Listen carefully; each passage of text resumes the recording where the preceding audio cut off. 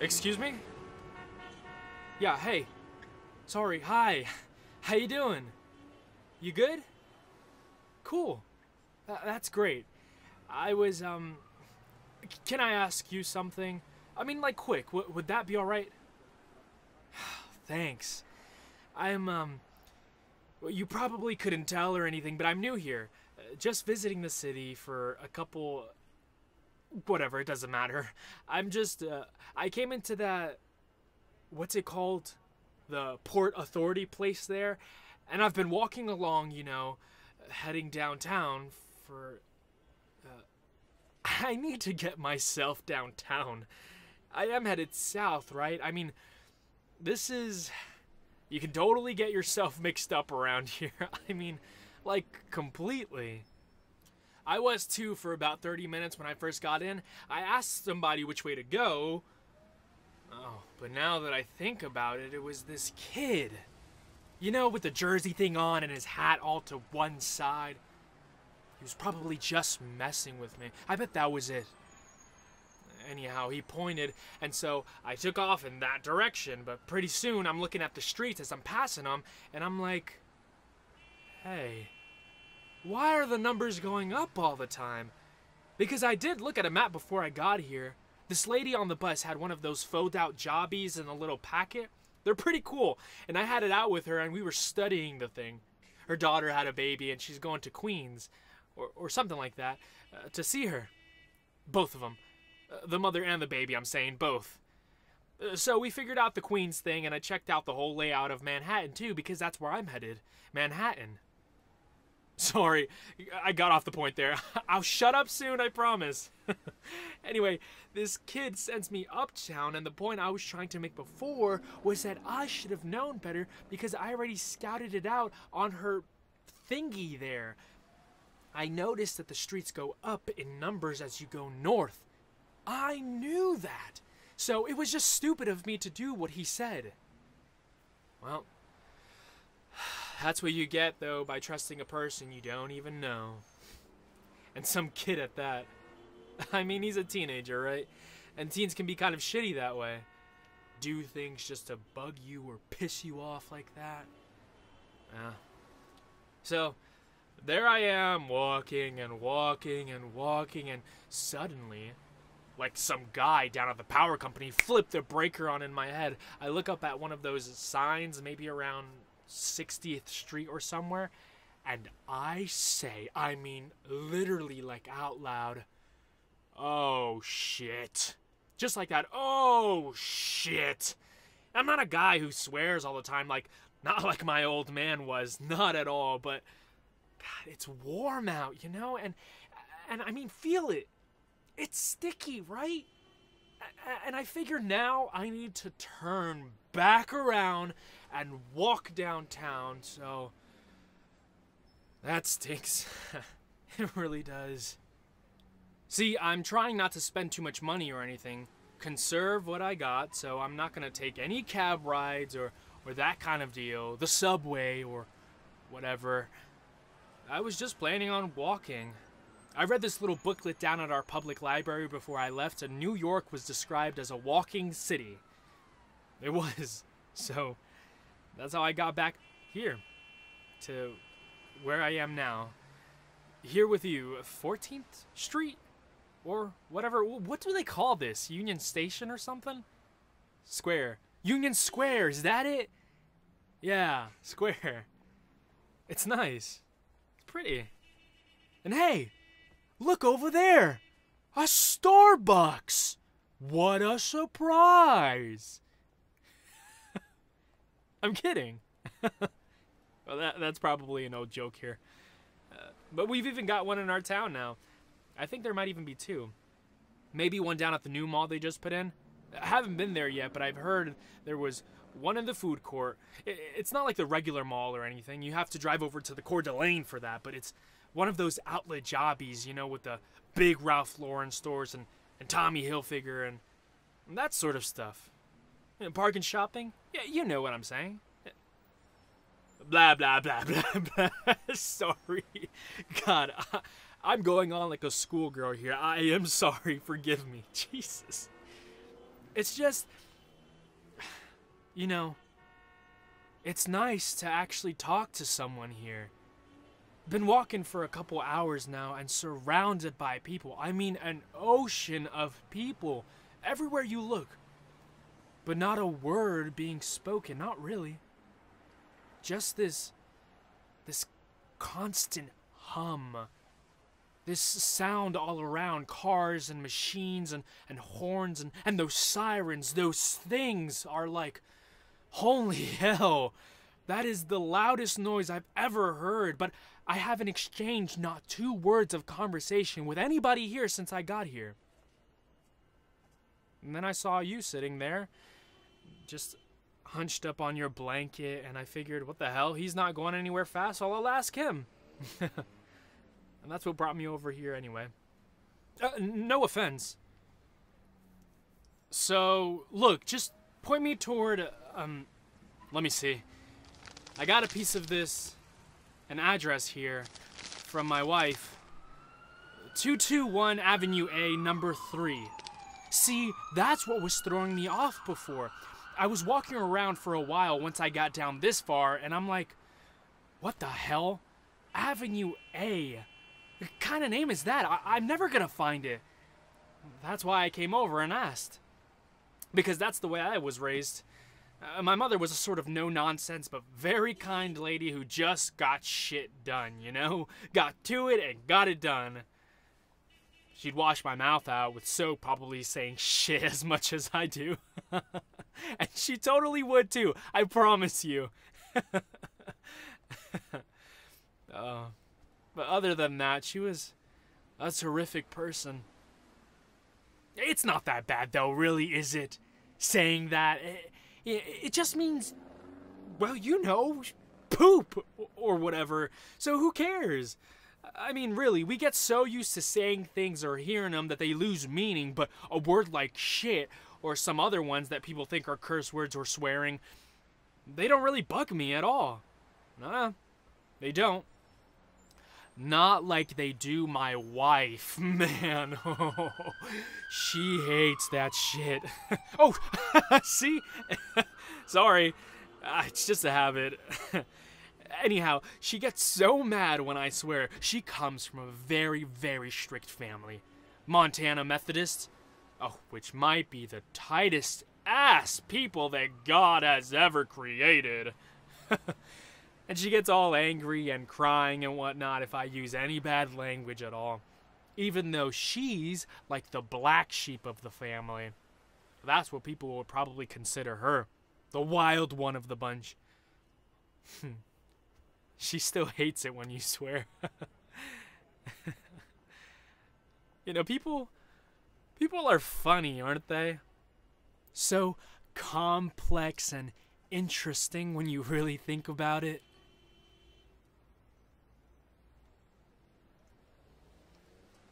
She left me. My wife did.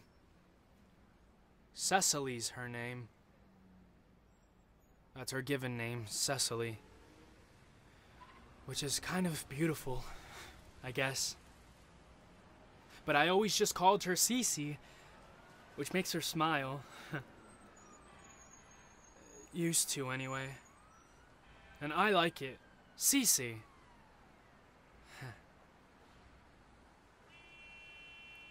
That doesn't really matter to you, though, I suppose. Not to anybody who sleeps on a piece of cardboard, probably, but.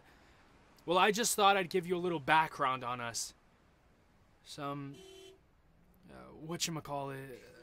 Context. Yeah. That's it. Context. The context is Cece took off on me. All that upbringing be damned. Left me after six years of marriage and two kids at home. She moved away and wrote me a letter about three weeks ago. Said she hated me. You believe that? Used that very word, hate. And says she's never coming back. Don't bother looking for her or contacting her or or nothing. She's done too much for people in her life and has bottled up her, her passions or or some nonsense like that. Women come up with some crazy stuff when they're angry or sad, don't they? I mean, passions. Please. And and that she's she she loves the children, but she can't go on living a lie or or, or something like that. Look, I've got it here with me. Not that you'd care to read it, but look, I am carrying it with me. And you know what did it? Seriously, what what set all this shit into motion? Huh? Jane Fonda. Hmm. Yeah. Not like the exercise tapes or anything like that. No, but a movie she saw on the TV. Yeah. Some older film that Miss Fonda did a while back, which I didn't even recognize. I was sitting right there too on the couch and half listening. But I was tired and, and we just had dinner, some Boston market, so I was stuffed and I noticed that she's staring at the television, Cece is, and, and really into it. Leaning forward like she does sometimes when the view's on or that Regis Philbin show. You know, involved. But it's getting late, and I really want to put on ESPN, check some of today's hockey highlights. But before I do, like the second before I click over on the remote, I glance at her, and she gives me one of her looks. Mm, you know what I'm saying? One of those married looks that says, Don't, Don't do, do it. it. If I want dinner tomorrow and clean socks and and shit, do, Do not, not touch, that, that button. button. So I watch a little more. It was all snowy, and I didn't even recognize any of the other actors, but eventually I give her a kiss on the head and wander off to bed. Figured what the hell, let her watch the damn thing. Point being, she left me right after that. Cece did. Maybe only a month later, when I was at work one day. Kids are off at school. She packed it in and took off. For here, New York City. Not that I ever would have known that, you know, where she lives or anything, but that letter I mentioned, the one I just showed you, yeah, not only does it have the postmark on it, but she writes her damn address up in the corner like she was taught to do from the first day of kindergarten on. How about that one? Jesus, you know, she makes me laugh sometimes how, like, ordinary she is for somebody who really thinks she's something special. That note was the first contact we've had, Cece and me, since she took off like six months ago. I mean, other than her lawyer. Oh, d- did I mention that before? All the lawyer business? That's a whole nother. Oh, believe me, you don't want me going off about that shit. It's. it's. Uh, Forget it. Basically, I'm paying for her little adventure. That's how that all worked out. I'm the money guy on her I need to find myself bullshit. But I don't hear a word of this from the woman herself. Oh no! I get some lawyer dude telling me all this like he knows her so much better than me. Cecily has requested, and and Cecily will require. I mean, come on! So you can imagine that when I get this letter from her, I'm more than a little surprised. Both surprised and delighted. And that's why I'm here. To see if we can. You know.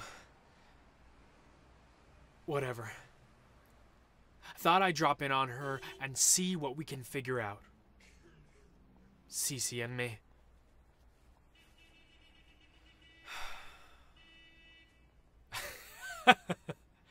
I see you got your eyes on my Burger King bag there.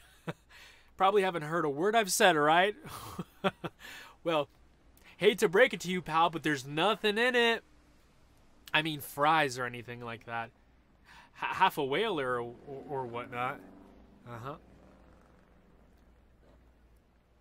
Actually, I got a gun in here. Yeah.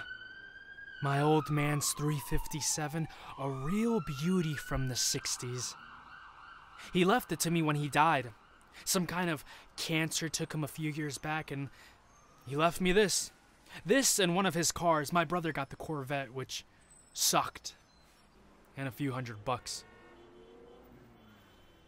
So, I got that letter from Cece telling me she's found a new life for herself and that she's escaped and has now liberated herself from the slavery of, of marriage and some other Jane Fonda inspired crap. I took a few days off from work, left the kids with my sister, and took the bus out here. Jumped on a Greyhound and made it in a couple days. And well, hey, you know the rest. Except for my run in with that kid, I've been enjoying myself just fine. Seeing the sights, taking my time, just walking. And in a minute or two, once I get my bearings down here,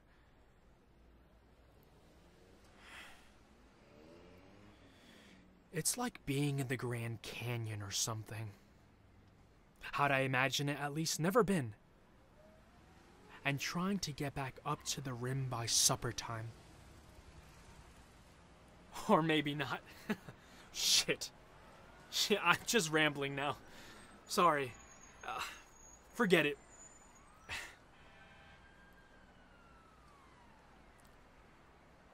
But I will find that address. I will. This A Street or wherever she's living now, old Cece and I'm gonna go and I'm gonna knock on her door. Knock, knock. And when she opens it, I'm gonna walk up to her and I'm gonna put the barrel of this revolver right down her throat. I am. I'm gonna do that. And then I'm gonna smile at her. Yeah. Smile down at her and lean in real close, all up in her face, and whisper, was it worth it, Cece? Finding yourself like that because I'm curious. I am. I really want to know if it was. Right before I blow her fucking head off.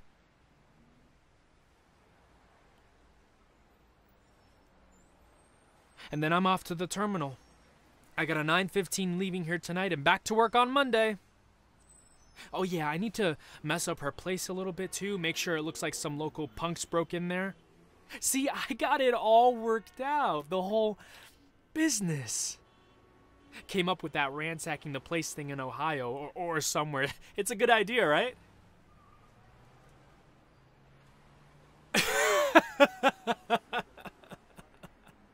I'm just yanking your chain, buddy. Seriously, damn. I thought you New Yorkers were so quick and clever or whatever. Jesus, look at you with your mouth all hanging open there. I'm kidding. I'm kidding. I don't give a shit what Cece does. Oh, we're better off without her. Just thought I'd drop in on her on my vacation, say hello, figure out some legal stuff. Hey, don't worry about it. uh, so, so I'm out of here. Need to get on the road, all right? It was nice chatting with you. And uh, which way am I going again? To Avenue A? That way? Okay. I'm trusting you now. Don't pull that shit on me. I'm just kidding. it's cool. Hey, here. Oh, oh no, wait, can't give you that. Kidding. There. Knock yourself out. Have a feast on me. I'll see you around. Eh, what what's that shit people always say to each other, you know, like in the movies all the time, although you never hear it in real life? You know, uh, um Oh yeah, I got it. Hey man. Have a nice day.